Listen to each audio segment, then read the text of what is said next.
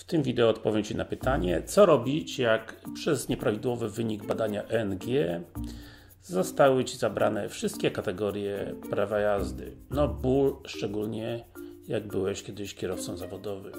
Cześć, nazywam się Darek Kraśnicki, jestem specjalistą medycyny transportu z Wrocławia i zacznę od zapytania żony kierowcy.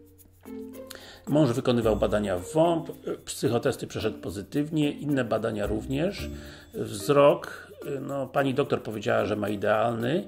No niestety parę lat temu mąż, mąż miał wypadek samochodowy, w wyniku którego miał krwiaka głowy i od tego czas, czasu ma jednostronne problemy y, ze słuchem.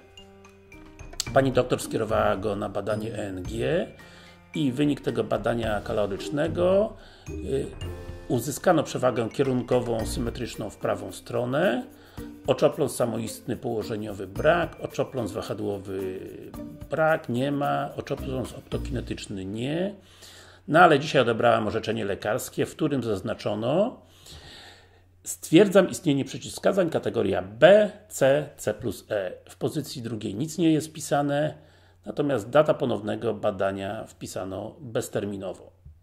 Proszę więc o wyjaśnienie mi, czy mąż ma zabrane wszystkie kategorie prawa jazdy, czy może się jakoś odwołać od tej decyzji. No, wszystkie inne badania wyszły dobrze, no i powiedzmy nawet bardzo dobrze. Mąż nie miał nawet najmniejszej kolizji na drodze, jeździ po całej Unii Europejskiej. Także nie za bardzo wiem, co mam w tej sytuacji robić, ponieważ jest to jednoznaczne z utratą pracy. Tak, dla przypomnienia, badanie ENG służy ocenie narządu y, przedsionkowego i w dużym uproszczeniu właśnie służy to do oceny równowagi pacjenta, no a w tym przypadku kierowcy zawodowego. Z pewnością to konkretne badanie zostało zlecone na polecenie laryngologa WOM, Wojewódzkiego Ośrodka Medycyny Pracy, no i przypuszczam, że ten, że laryngolog zapoznał się z jego wynikiem, a następnie zasugerował coś tam lekarzowi medycyny pracy.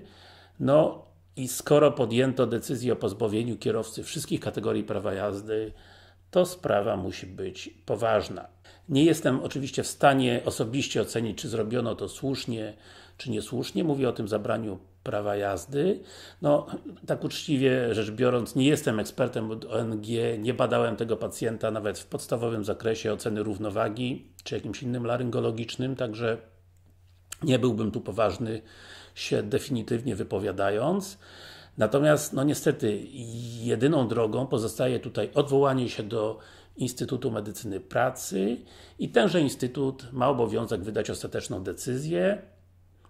No, bądźmy też brutalnie szczery, raczej będzie ona identyczna jak Wąpowska, no ale bądźmy z drugiej strony szczerzy, że bez tej procedury nie masz żadnych szans, czy tenże kierowca nie ma żadnych szans na odzyskanie jakiejkolwiek kategorii prawa jazdy, nie mówiąc już o zawodowym. Także na tym kończę. Jeżeli to wideo w czymś Ci pomogło, daj lajka, daj kciuka. Jak rozwiązało Ci jakiś problem, udostępnij go na swojej stronie internetowej, portalu społecznościowym typu Facebook, Google+, czy jakimkolwiek innym. Jak chcesz więcej takich materiałów, koniecznie subskrybuj mój kanał YouTube, Lekarz Medycyny Pracy. Tutaj masz gdzieś linki do subskrypcji po mojej prawej stronie.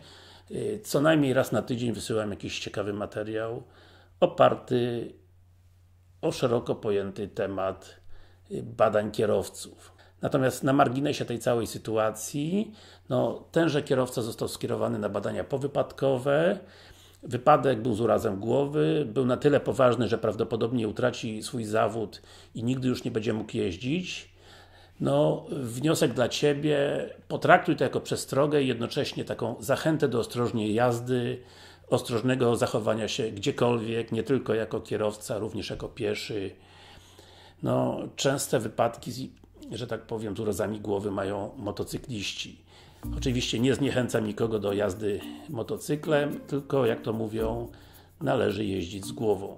Natomiast małą pociechą jest w takim przypadku, że to nie Ty byłeś sprawcą wypadku, no jeżeli oczywiście w następstwie utraciłeś swoje prawo jazdy. Także nie ma tutaj wytłumaczenia.